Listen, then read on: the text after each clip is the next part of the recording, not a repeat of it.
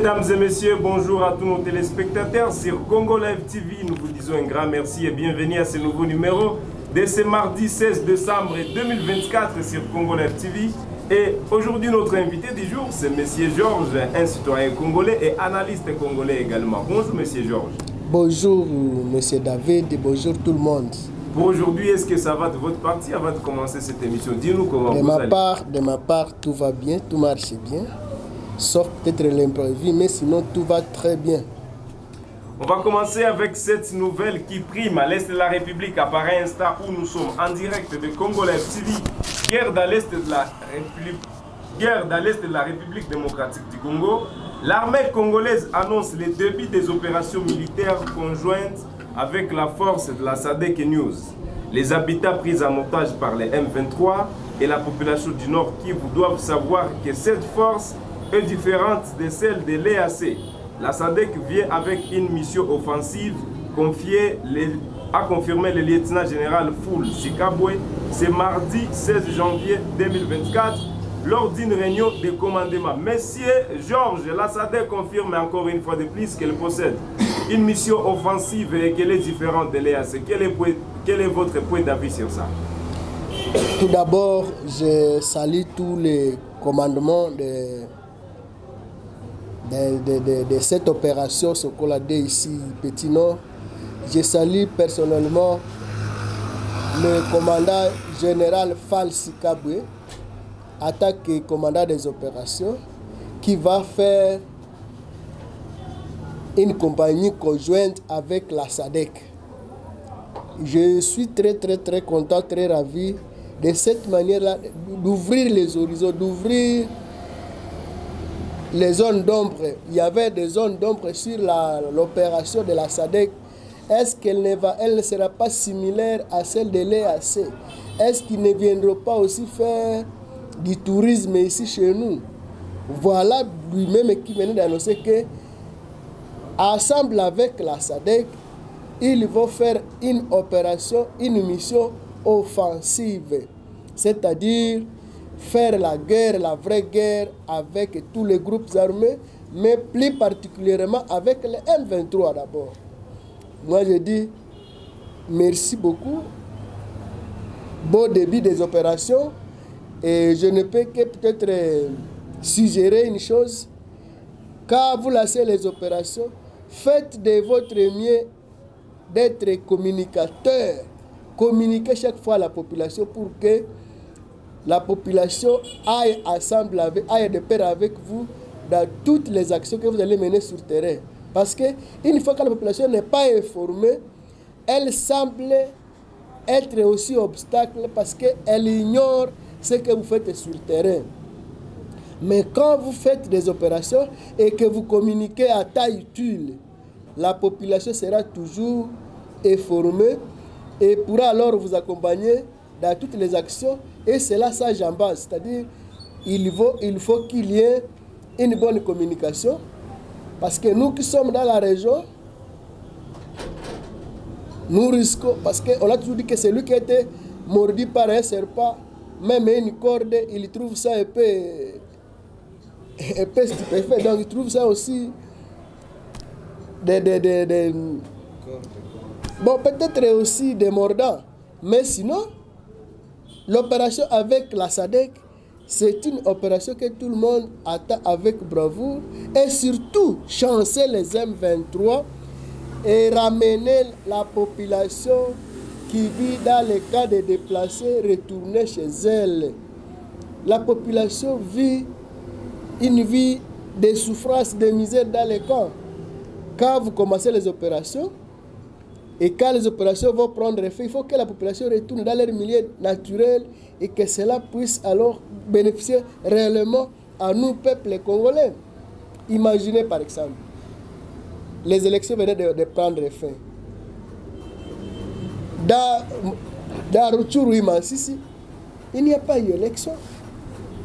Et s'il n'y a pas, et quand il n'y a pas eu élection, c'est grave.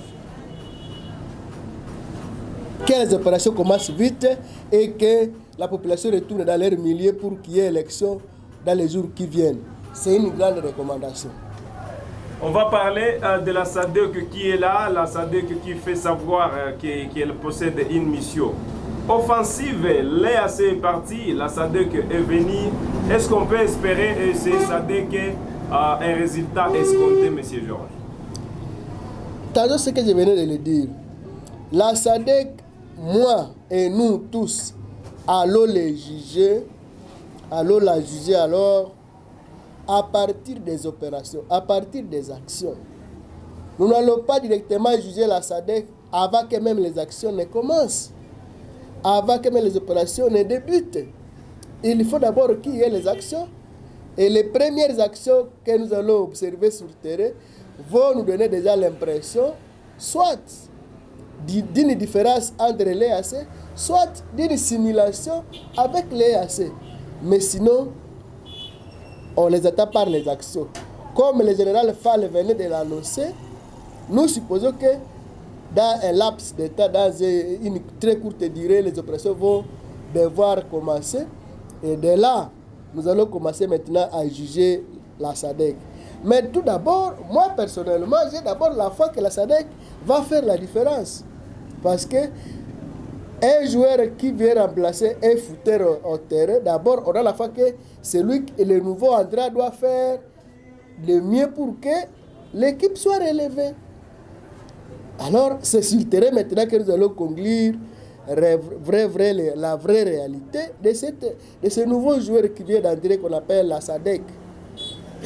Nous sommes sûrs et certains, surtout avec les FRDC, mais ne pas ignorer aussi les Wazalendo qui sont en train de, prendre les taureaux par, la, par les cornes aujourd'hui. Avant même que la SADEC ne commence, les Wazalendo ne, ne, tardent pas. Et voilà, moi j'ai la foi que les choses iront très très bien sur le terrain. Et il ne, reste que quelques jours à compter pour que le M23 appartienne à l'histoire. Monsieur Georges, quel sera alors euh, le rôle du MV, du, du, euh, des FRDC, disons, lorsque la SADC va commencer euh, cette mission offensive Quel sera le rôle D'abord, les FARDC ont pour rôle un rôle que j'appelle un rôle naturel, un rôle régalien qu'on appelle protéger l'intégrité territoriale. Ce n'est pas à dire que parce que SADC va arriver, il, va, il sera électro libre sur le terrain. Ils seront ensemble. Ils, se- ils seront, seront, seront conjointement ensemble. Ils vont, ils vont faire un jumelage ensemble. Et, et les, les- les- les- troupes de FRDC, les troupes de la SADC, tous vont travailler ensemble. Je pense bien. Et surtout la mission la plus régalienne appartient d'abord à- au FRDC. C'est pas dire que les FRDC vont d'abord croiser les bras et observer les, la SADC. Non, non, non. Ils vont travailler ensemble. Est-ce qu'on peut dire que les FRDC ont échoué, raison pour laquelle ils ont fait l'appel à, à la SADC Les FRDC n'ont jamais échoué, n'ont pas échoué. Mais comme nous sommes dans une sphère de la diplomatie, il a fallu associer d'autres forces. Parce que souvent, la région nous a toujours taxé de- de- d'égoïstes, je sais pas, des gens. Tu sais que dit quelqu'un qui veut toujours non, travailler seul. Non, alors pour échapper aux verbiages inutiles, c'est pourquoi on a associé la SADC. Mais aussi pour fortifier encore l'armée davantage, parce que l'armée ne venait que des, des régimes qui n'ont pas très très très bien encadré l'armée. Il a fallu maintenant qu'il y ait une force de, soutien, une force d'assistance. C'est pourquoi la SADC est là. Je m'excuse. Et la SADC, quand il va commencer à travailler, c'est là que je connais SADC, parce que SADC avait, déjà aussi travaillé déjà avec, euh, dans les anciens temps avec Musée. Nous avons vu comment SADC menait ses opérations. Ce n'est pas comme l'EAC, ce n'est pas de la blague. C'est c'est la force, c'est c'est- c'est la guerre. hein. Mais la depuis, guerre. mais, mais- mais depuis que la SADC est arrivée à l'est de la République, il y a des agitations du parti euh, des M23. Pourquoi ça? Depuis que cette annonce a été faite. Les éléments du M23, surtout le Rwanda, c'est très bien que.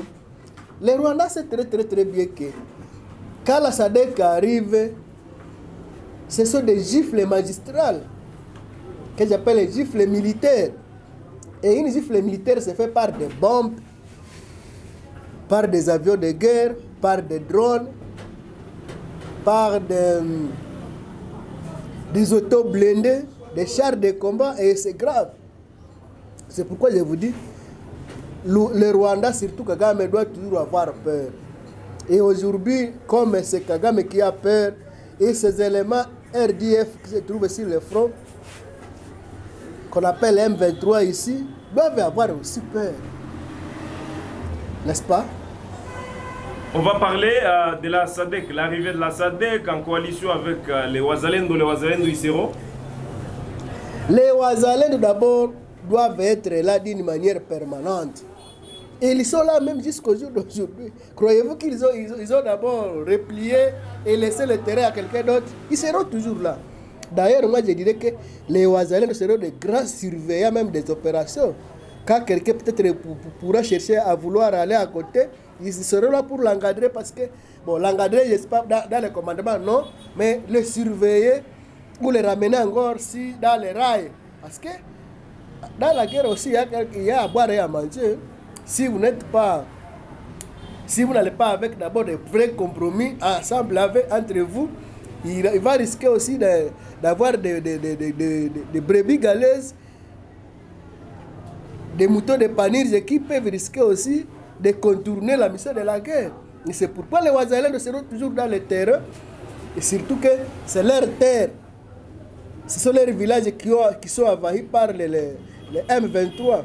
Les Ouazalais doivent alors surveiller, doivent jouer un capital du village.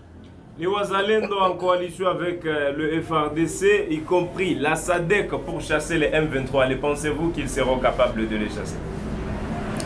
Donc vous, vous croyez que le M23, c'est une pierre, c'est une roche qu'on ne saura même pas déplacer et l'amener quelque part. Il, faut prendre effet. D'ailleurs, ngala lobi, etikalika mikolo ya kotanga bakosuka bakosila baosuka kaka mikolo, ezoya. Kala mingi te baosila. Ils vont, finir d'ici là ils vont finir. Et encore très mal.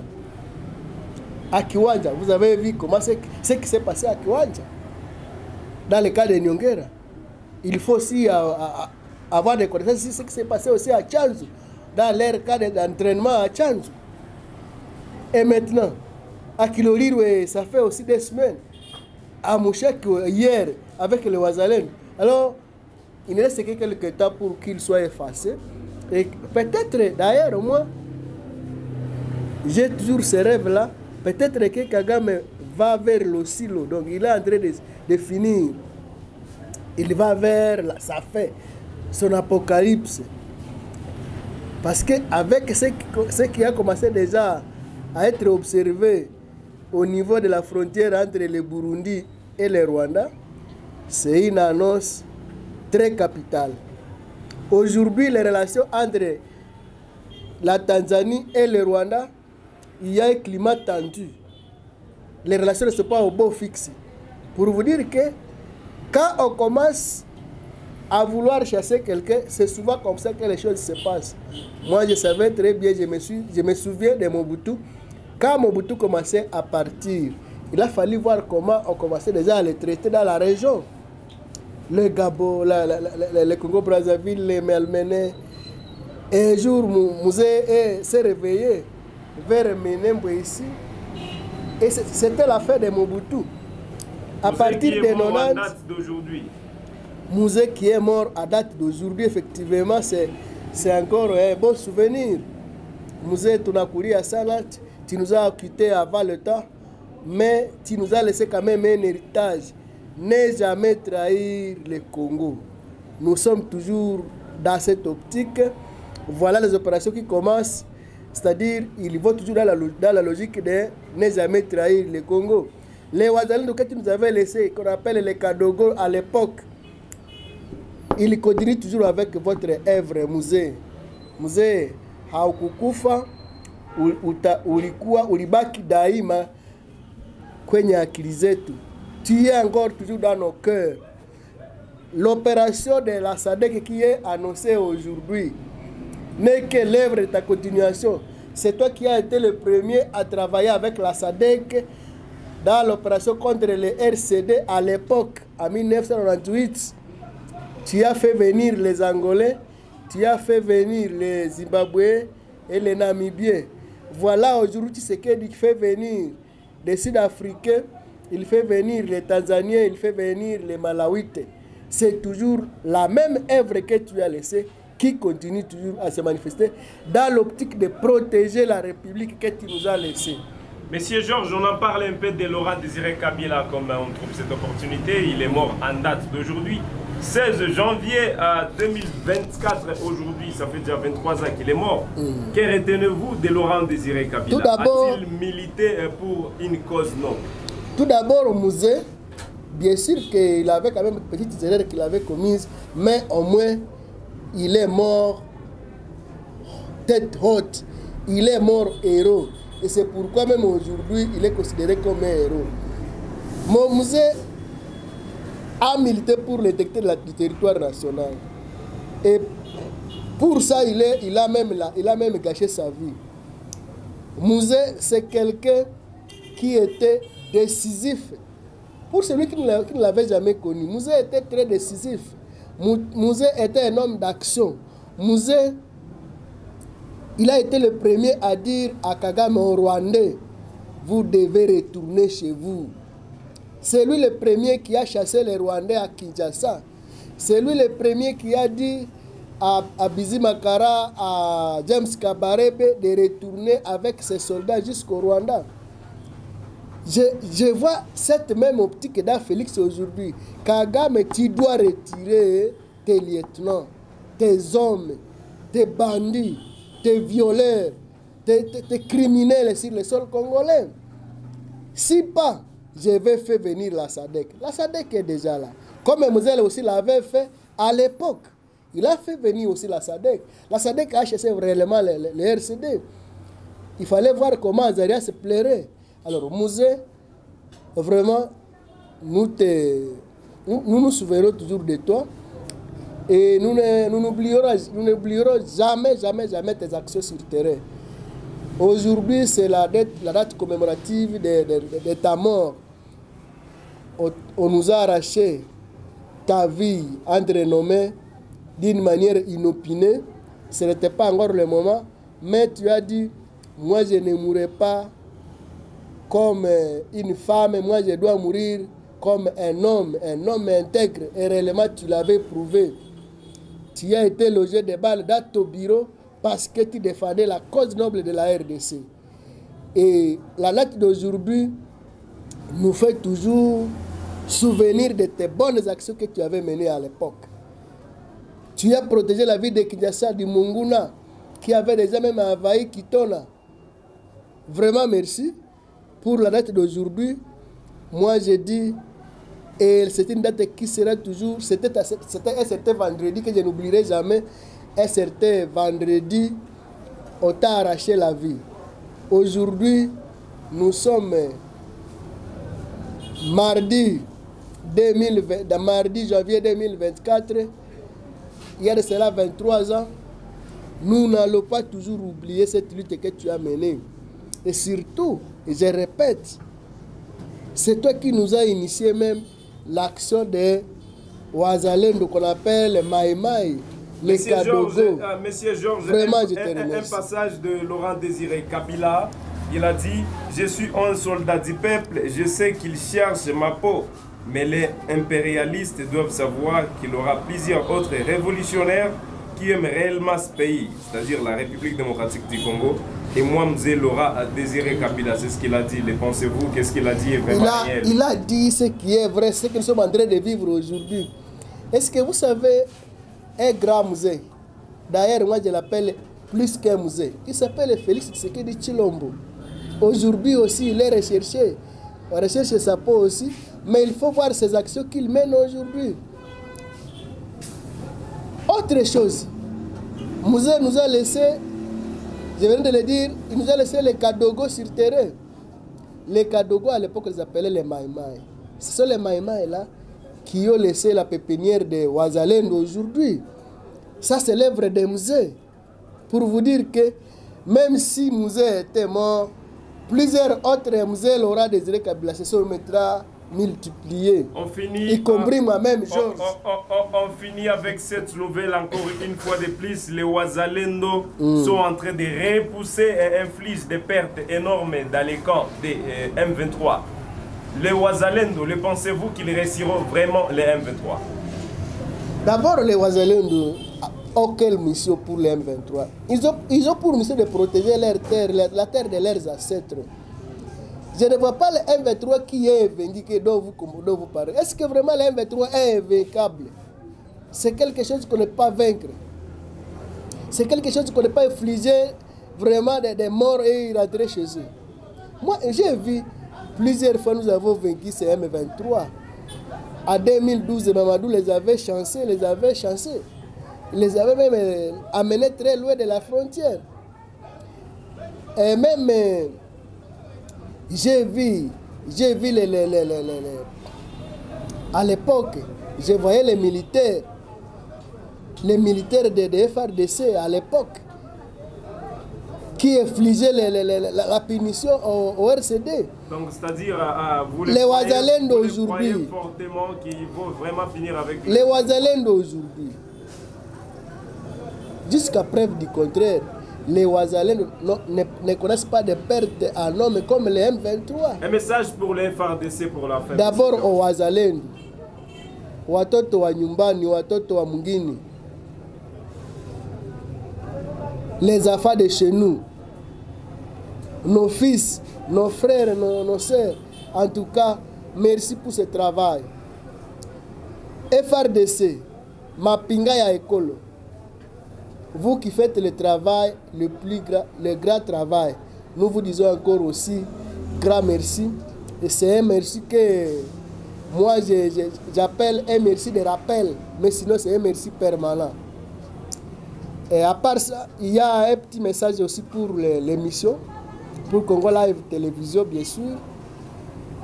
D'ici là, nous avons fait aussi un appel à l'assistance, bien sûr. Bon, à l'assistance, comme je peux le dire aussi. Nous avons besoin aussi d'un équipement plus sophistiqué que, comme plus que nous, travaillons avec aujourd'hui. C'est un, c'est un équipement qui demande aussi la contribution de tout le monde qui nous a toujours suivis de partout dans le monde. Nous avons besoin de matériel comme euh, des caméras, encore de plus grande capacité, plus que nous en avons. Nous avons besoin d'autres supports. Nous avons besoin aussi d'autres d'autres moyens, surtout les moyens, je ne dis pas moyens financiers, peut-être les moyens matériels, comme par exemple le- le- un bureau, un studio, c'est aussi important. Alors, de ce fait, il y a un numéro que nous avons lancé, sur lequel vous pouvez alors donner votre contribution, vous pouvez la- lancer votre contribution. Le numéro commence par plus 243 80 83 06 802. Je répète, je réitère, plus 243 80 83 06 802. Je répète encore, plus 243 80 83 06 802 pour toute contribution, toute euh, assistance, vous êtes le bienvenu. À notre, nous, nous personnellement, moi comme Georges aussi, notre numéro, comme d'habitude, est plus 243 9 79 27 31 68. Plus 243 9 79 27 31 68. Merci mesdames et messieurs, c'est la fin de cette émission. Nous vous disons merci d'avoir suivi. C'était Monsieur Georges, notre invité. Merci et nous espérons une suite favorable de votre partie. Passez une excellente journée. Merci Monsieur Georges. C'est moi qui vous remercie.